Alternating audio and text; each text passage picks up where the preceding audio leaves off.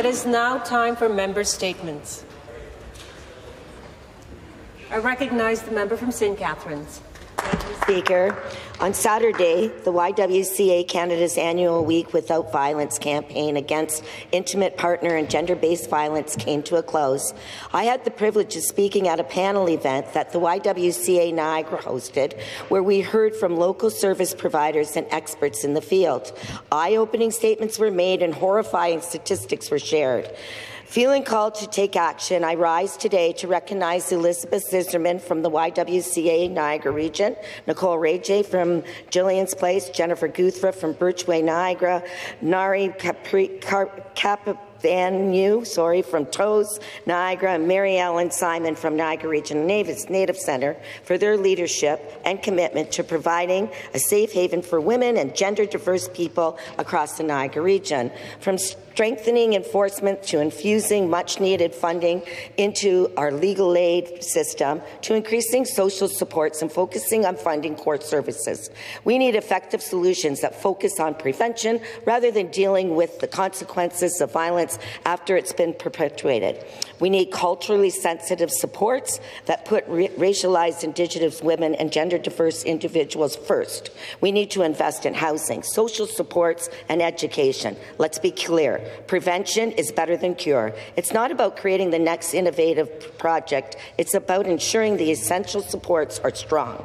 Intimate partner and gender-based violence is everyone's problem. Acknowledging the problem exists is the first steps in saving lives. Thank you. Thank you. I recognize the member from Burlington. Thank you, Speaker, and good morning, everyone. At the end of the summer, I had the pleasure of touring the new Brock University campus that is currently being built in my riding of Burlington. I was greeted by Dr. Mary Louise Vanderlee, the Dean for the Faculty of Education. Dr. Vanderlee and other faculty members have been recognized as contributing to one of the highest in institutes of education in the country. With almost 28,000 alumni, Brock University has been actively training educators to serve the next generation. I was happy to see the progress of the new Brock campus that will play a crucial role in shaping future generations of educators, equipping them with the tools they need to inspire and lead in diverse and dynamic learning environments. The new campus is not just a new building, it's an example of the advancement of educational excellence and innovation. As the only university in the GTA West corridor offering teacher education programming, I'm excited for the opportunities this new space will provide for students, faculty, and the broader community. Thank you. The member from Toronto Danforth. Thank you, Speaker. Speaker, recently children in a grade 6 French immersion class at Withrow School in my riding were preparing to meet the 20th teacher assigned to their class since the school year began. The school has not been able to provide a permanent teacher for this class this school year. As you can imagine, the students are demoralized and the parents are completely frustrated. This is not a new problem or an isolated problem in our public schools. In the spring, I raised a similar issue faced by students at Earl Grey School in my riding with the Minister of Education. No one in this room will be surprised to learn that the response was superficial and led to no action that would help the students. As one parent put it to me, underfunding and removal of supports in the classrooms mean that teachers are leaving the profession, burning out, or choosing not to enter teaching at all. Parents, where they can afford it, are paying for after school tutoring to try and get an education for their children. Speaker, I ask the Minister of Education to provide the funding and support that our schools need to provide the education that our children deserve. Thank you, Speaker.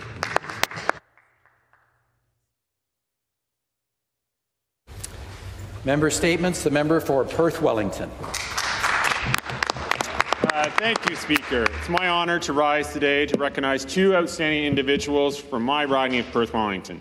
Recently, I had the pleasure of attending the Mount Forest Chamber of Commerce Awards, where we recognized the Mount Forest Citizen of the Year. Crystal, uh, Crystal Steffler and Crystal uh, may have not have grown up in Mount Forest, but got involved in the community shortly after making her new home there.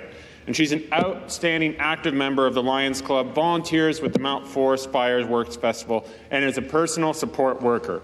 In addition, she founded an initiative called the Child, Care, uh, Child, Child Cancer Blanket Project, which involves community members making blankets or quilts and donating, donating them to children's hospitals across Ontario. As one of her nominators put it, Crystal, she's always there. The second individual I want to recognize is a bright young man named John Ray. No relation, Speaker. John was awarded the Youth Citizen of the Year Award and he can be found on Saturdays during the summer at the Wellington North Farmers Market selling fresh produce from his family's farm. Both John and Crystal have a passion for volunteering and giving back to the community they love. Congratulations, John and Crystal, and thank you for all that you do for Mount Forest. Thank you, Speaker.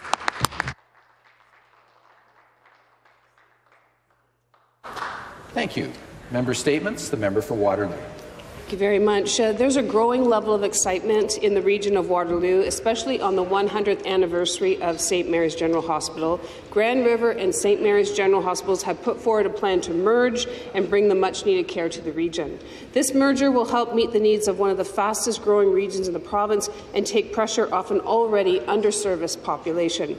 We, rec- we recognize as a community that this is a needed hospital, and it will not only meet the healthcare needs, but also the economic needs of our community in addition.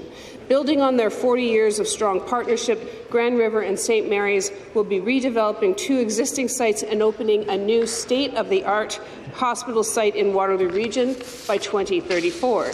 This new site will be built on the campus of the University of Waterloo David Johnston Research and Technology Park.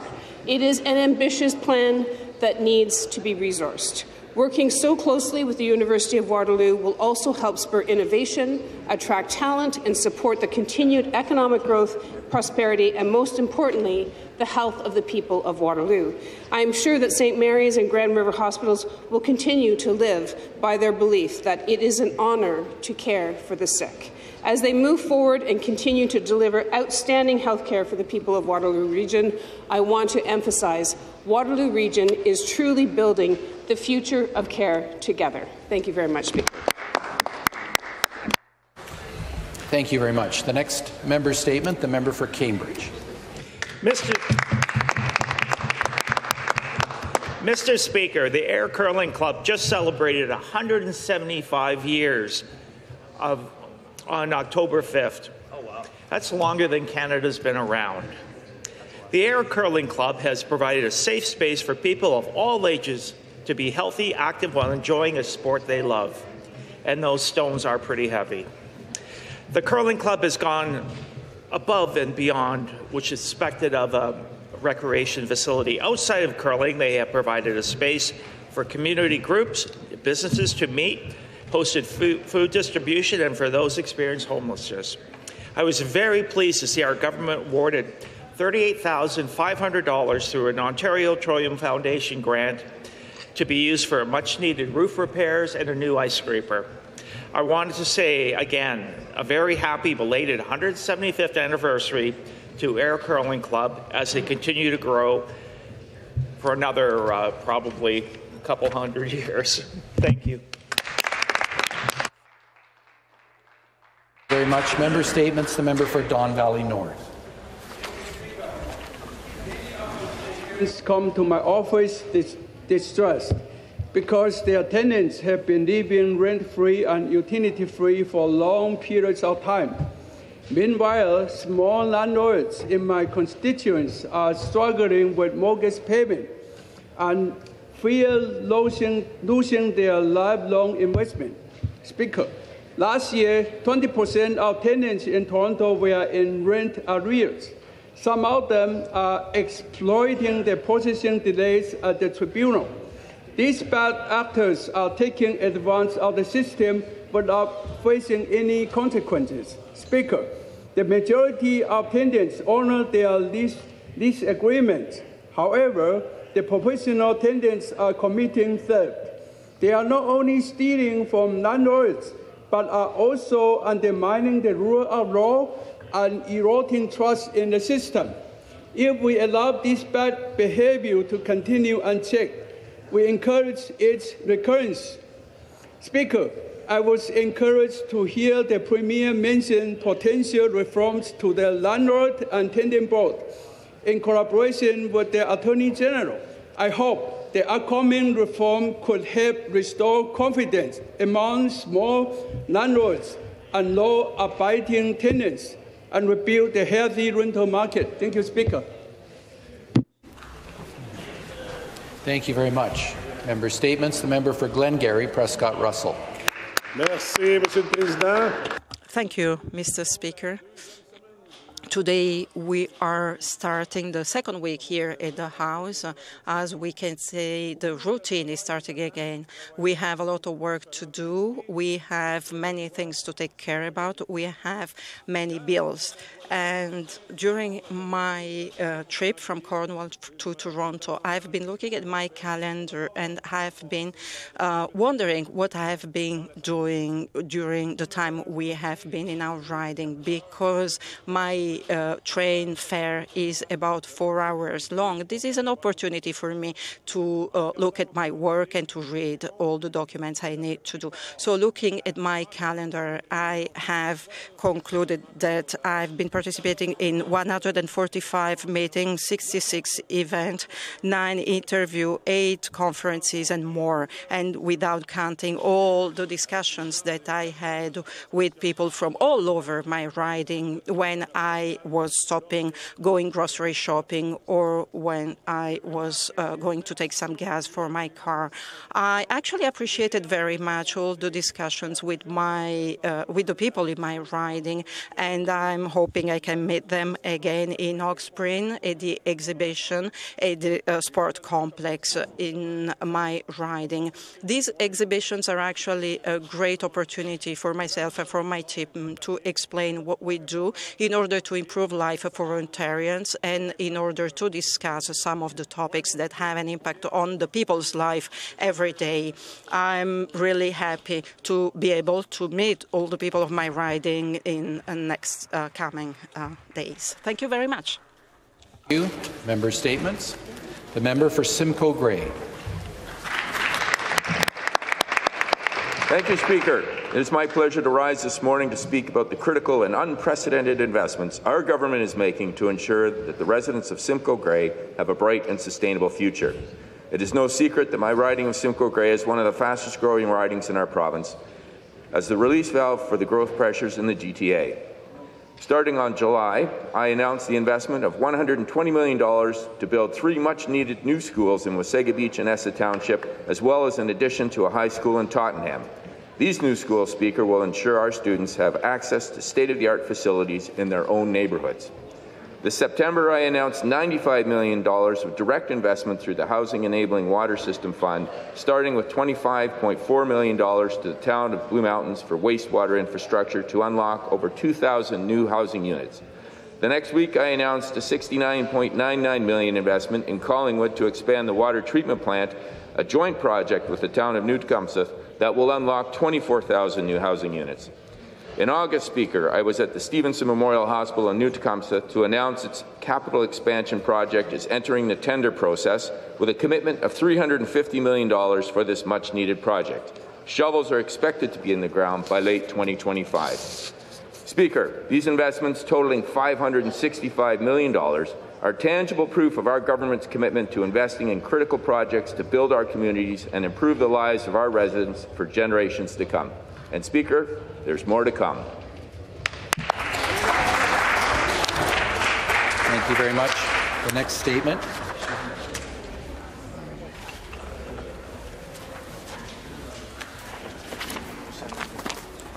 The next statement, the member for Hastings, Lennox and Addington. and good morning. Speaker, as MPPs, we all have an opportunity to engage with a lot of different people. But some of these opportunities really stand out as positive signs for the future. Recently, I had the wonderful opportunity to engage with some of my local secondary school students. At North Hastings High School in Bancroft, I spent time with the students in Mrs. Waterbury's Period 2 and Period 4 civics classes. And this last week, for Local Government Week, I was joined at NDSS by Limestone School Board trustee Tiffany Lloyd and both the mayor and deputy mayor of Greater Napanee as we presented to students in three different classes Mrs. Classen, Ms. Carmichael, and Mr. Heaton. Speaker, it was a distinct pleasure to share insights on how different levels of government work and how students can get involved now, even if they're too young to vote. We had great discussions and some insightful questions about local issues, healthcare, homelessness, transportations, and so much more. As a side note, Speaker, I've done a lot of these types of classes before, and it was awesome to have the students fully engaged with us and not on their smartphones.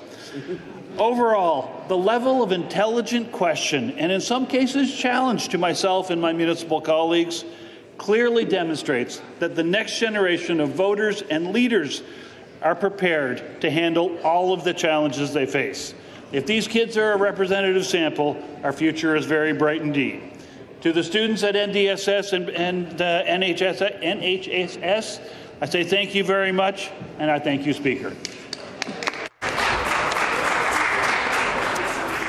Thank you. That concludes our member statements for this morning. Introduction